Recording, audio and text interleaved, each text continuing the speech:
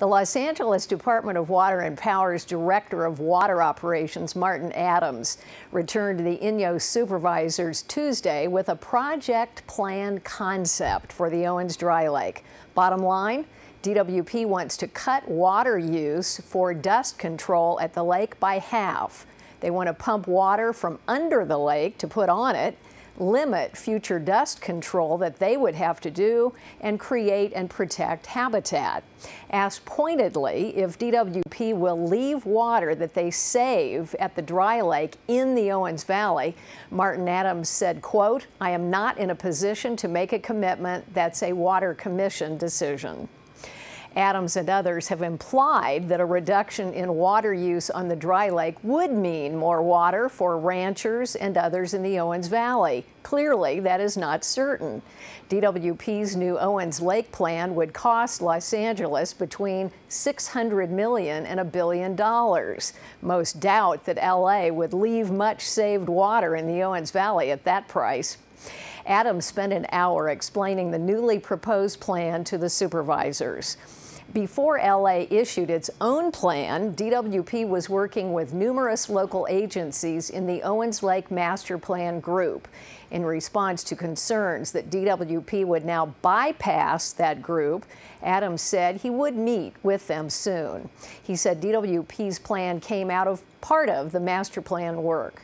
The DWP concept would use gravel, tillage of soil and ridges of dirt to control dust on the lake bed instead of water, or at least some water. At one point, Air Pollution Control District Director Ted Schade stood up to say that his agency never required DWP to use water on the dry lake dust. He said that was their decision. Schade said APCD had encouraged LA to approve out other dust control methods, and he said that they originally would have preferred the city use gravel instead of water. Adams had earlier said gravel is a lot more expensive than water. In his explanation of this new plan, Adams said DWP wants to hold dust control to 45 square miles. He said, We believe under the law we have satisfied our obligations. LA is now suing the state air board and the APCD to end additional future dust control measures. Adams added that DWP believes dust in the lake area comes from sources other than DWP's activities. Adams also described a process of at least five phases in this new plan, so the transitions would not create problems for new penalties from the Air Pollution Control District. Adams said DWP would work with the master plan group, the county, and state and federal agencies on this new plan, which would also require an environmental review. He said, quote, we will work with state and local officials to resolve the legal and regulatory issues in order to warrant a major investment on our part. Adams said DWP commissioners would be looking at this concept at their meeting on Tuesday. With as much as 47,000 acre feet of water saved from Owens Lake mitigation, what would DWP do with that water? Well, Adams claims LA will work with the ranching community for more. Ranchers have suffered losses by DWP over the past decade or so. They face more losses this year. Again, Adams told Sierra Wave Media after his presentation that he could not commit that water saved on the dry lake would stay in the Owens Valley. Supervisors encouraged him to meet with the Owens Lake Master Plan group here locally. Supervisor Rick Pucci said it was important to leave water in the Owens Valley. He said, quote, it's extremely important to develop this point in advance, end quote.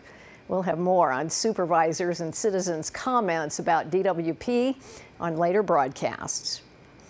Well, the so-called sequestration in Washington, D.C. made across-the-board cuts kind of willy-nilly in many services because the two parties just couldn't agree on a budget. Mono Supervisor Tim Alpers said that that policy cut 2.4 million out of the Yosemite National Park budget.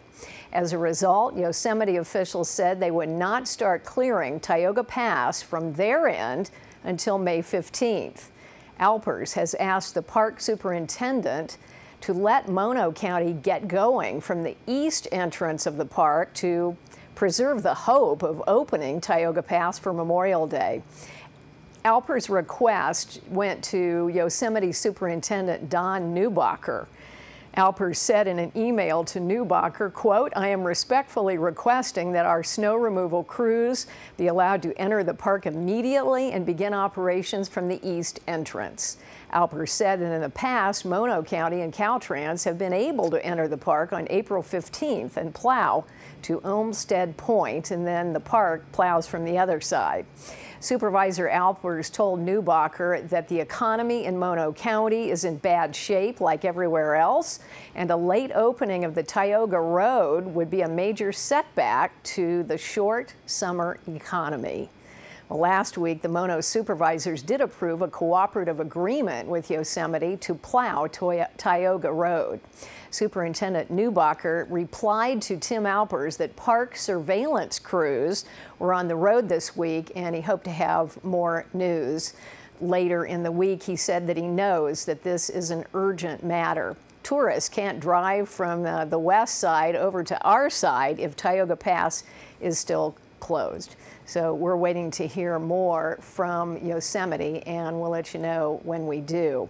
In other road opening news, the town of Mammoth Lakes plan to start plowing the road into the Lakes Basin and then soon into the Reds Meadow Valley.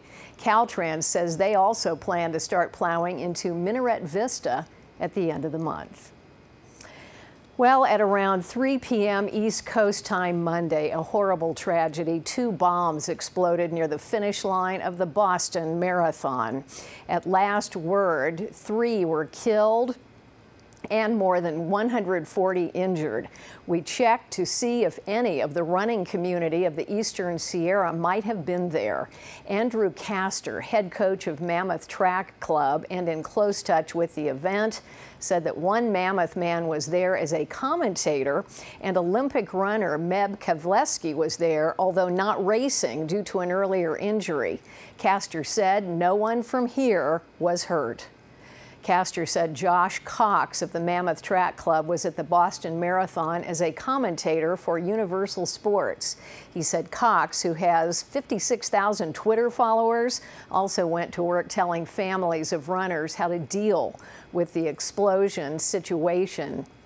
Kastor said his phone was also ringing off the hook with emails and tweets flying in from those concerned about who might have gone to the marathon.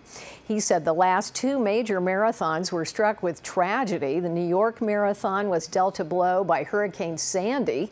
Kastor said that was an act of God. This incident, he said, in Boston was an act by someone who thinks he's God. In the face of this tragedy, Kastor said it's important to keep going forward. Nobody stops us, he said. That's the mentality of the distance runner. Mammoth Mayor Pro Tem and runner Rick Wood did not go to the Boston Marathon. He said he had just run the Los Angeles Marathon four weeks ago and was not ready for another one. Wood said, This is such a terrible thing. I think of the running community and people who do this are by and large good people. They are working hard to try to achieve a personal best. What a terrible thing to happen. Well, Andrew Kastor said the Mammoth Track Club planned to dedicate Tuesday morning's practice to the fallen victims. He said we'll complete a couple of laps and observe a moment of silence. We'll be right back.